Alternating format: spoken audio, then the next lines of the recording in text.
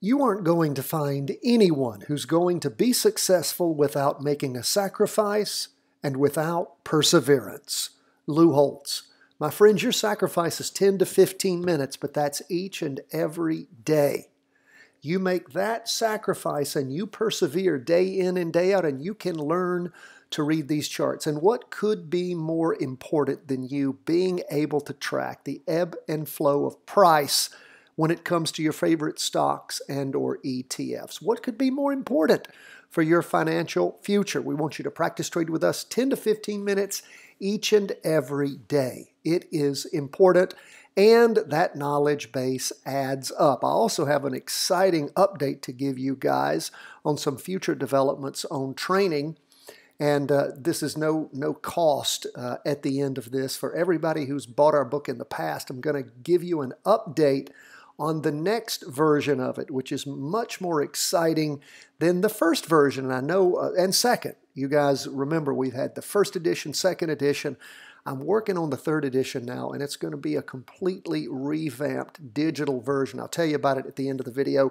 Let's jump, and don't discourage you from buying the current version because you'll get the next version for free. And the sooner you start, the better. Let's jump into these charts. Stocks are mixed. S&P down, NASDAQ 100 up. We look at bonds and gold. They are down. Now, how are we starting the week off? Well, the S&P down 0.45%. That is what that red open box means. Those of you who know what Heikin Ashi candlesticks are, and I'll put the Heikin Ashi candlestick training at the end of today's video. I'm going to make a note of that right now to give you the Heikin Ashi training. Just watch at the end of the video, you will see that. Heikin Ashi means average pace in Japanese. It is our favorite type of candlestick. You don't have to memorize all these patterns. What you see with it's what you see is what you get when you start looking at the charts, when you understand the difference between the open box, the closed box candles, you understand how to use the wicks and the candles themselves. Again, simple but you need the training, and the training's free. It's going to be at the end of the video, so I want you to take it. If you hadn't taken it in a while, uh, please take it again. Like 200,000 people have taken it. So please, very important, one of the most popular Heikin Ashi trainings on the web, and it's free to you. Now we see the derivative oscillator losing a little bit of energy. Price percent oscillator also slowing down, heading down, still positive as we start the week off weak on the S&P. Look at the two-day chart. Now remember, this last two day candle ended on Friday, so this one is just Monday. It will finish at the end of the day on Tuesday. Now, what is going on with this candlestick? Well, what we see happening with it is it is a green spinning top. As we look in a little closer, we can see that the price percent oscillator and the exponential moving average, if you look over on the left-hand side of the page, I've got to hold down this arrow. I can't take my cursor over there, but if you look below the first gray horizontal line, you'll see PPO and EAVG. That's the price percent oscillator and 8 uh, exponential moving average, 8 period. Those are both the same, so we don't have a crossover going down yet. So we'll continue to call it as we see it when we look at these charts, and we'll continue to, again, move ahead, see where this takes us and how things develop. This is just the first day of the latest two day candle, but you can see we're going into the second candle after breaking that two day trend line. We go to the half day chart. What do we see there?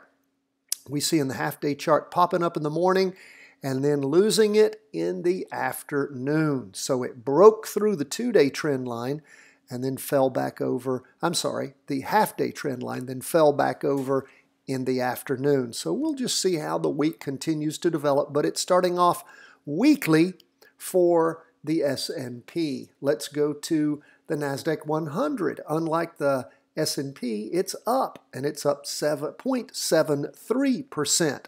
Now, again, as we look at the candlestick, what do we see initially? We see little candlestick a little bit higher than the prior one, but look at the wick on top. It's not reached a higher high. And when we look at the price percent oscillator, what's it doing? Well, we can see that the price percent oscillator is 5.46 and the exponential moving average is 5.51. What's that tell us? Well, that tells us that indeed we are still pretty much laminated and we'll just continue to watch and see as we go through this week. Is all of this up movement finally coming to a close at the end of the year? I don't know, but we're going to wait and see how things shape up. The price percent oscillator is flat, the derivative oscillator heading up a little bit. Look at that two day chart. Again, price percent oscillator about flat, derivative oscillator losing momentum. We look at our two day candle and we can see that it's a green, I'm trying to, it's hard to see that. It's a green, I guess just a green up candle with a wick on top. I was I thought I saw a little wick on the bottom, but I don't.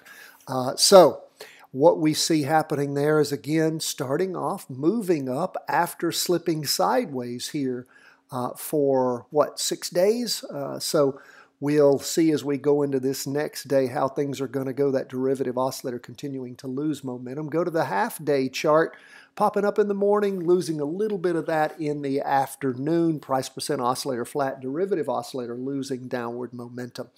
So again, what do we see overall? Well, we see that the price percent oscillator is heading down on that weekly chart still heading up on the two day chart. Now, if we do have a big down day on Tuesday and we see this end up crossing over, going down, it's going to take a lot of down movement. But if it does, that of course would give you a potential jumping in point for a two-day recross going down. You would be shorting the Qs, either with a practice put or something like PSQ, as we talked about last week. Don't know that's going to happen, but just thought I'd point that out. Now let's leave stocks, go to bonds, down for the day, 0.28%. And we're starting this week off with a lot of indecision, a green spinning top price percent oscillator going sideways, derivative oscillator losing downward momentum. We're just about where we've been at the bottom going into the third week. Go to the two-day chart. Of course, it's right there on the two-day trend line. And again, we have a red spinning top, means uh, again a slowdown in the up movement. And we see the price percent oscillator still going up, derivative oscillator is still negative, losing downward momentum. Go to the half day chart. And of course, we can see where we had that initial plunge in the morning, tried to recover some in the afternoon. Overall, like we said, barely down for the day, 0.28%. Price percent oscillator still going up, derivative oscillator losing momentum. Waiting to see how things are going to shake out in bonds. Again, indecision there. You've got the two day going one direction, that's up, the weekly going down. How's this going to settle out? We'll just continue to wait and see. What about gold? Down the most for the day, 0.55%. And again, sort of slipping and sliding sideways a little bit as we start the week. Derivative oscillator heading down. Price percent oscillator still negative, losing some downward momentum red down candle forming, small one with a wick on the bottom, getting nowhere near the lows of the week ending the 4th of December. We go to the two-day chart. What do we see there? Well, we can see where the price percent oscillators laminated on the red signal line, derivative oscillators gaining some upward momentum but we have a red down candle forming, sitting there just a little above the weekly and above the two day. So we'll continue to watch and see how that shakes out. Is it going to be a two day crossover going up?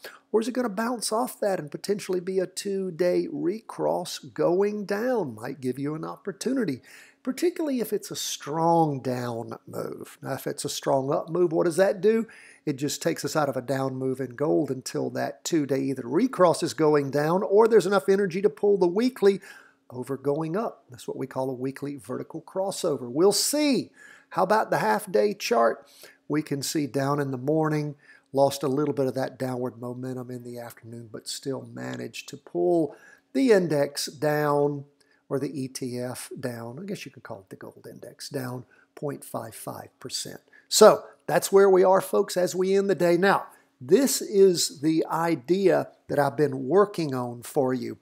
A lot of you asked when we originally published our book about publishing a digital version. Now, those of you who purchased the first edition we sent out, if you didn't get it, well, you didn't check your emails because we sent everyone when we came out the second edition of the book a free digital edition if you had purchased the first edition. So we came out with a second. I emailed everybody personally. I did it myself. Sent everybody a digital digital version of the second uh, edition of the book. I'm working on a third edition right now, and I'm going to use uh, I'm going to use a digital format on this one totally. And what I'm going to do along with it is I'm going to put in links to videos that help illustrate what it is we're teaching in each chapter. So if it's a chapter on the price percent oscillator, we're going to have a digital teaching, a video teaching of that to go along with it. It's going to be a totally digital book. Of course, as you guys know, those of you who purchased the book, I, I have provided it to you in a spiral bound format. It cost a little more to do that. But what I'm going to do here is go for a totally digital format. It's going to be both readable as a PDF, and then it's going to have links in it to our training videos. I think that multimedia approach will be much more helpful to you because my number one job is to help people understand what it is we teach and then be able to apply that in your practice, training, and trading so that you're able to grasp what it is we do here quickly and understand it fully. And of course, one of our dreams is to be able to put this into a format that we can then share it with particularly young people. And uh, I want to start a program where we actually give away many, many versions of this training uh, to young folks that we can encourage and empower them to understand the market and be able to learn to trade it. And in fact, we're going to work that into our charity efforts. Anyway, for those of you who sponsor us, who buy our book, uh, we appreciate that. We particularly appreciate our Patreon supporters. They help fund all the work we do here. If you're not a Patreon supporter, man, you need to be one because we do have the best training on the internet for free. Our options made simple, the Charting Wealth Way. You get all three of those trainings the minute you join any of our three Patreon levels. So consider that. God bless my friends. All the best from the whole team at Charting Wealth World Headquarters.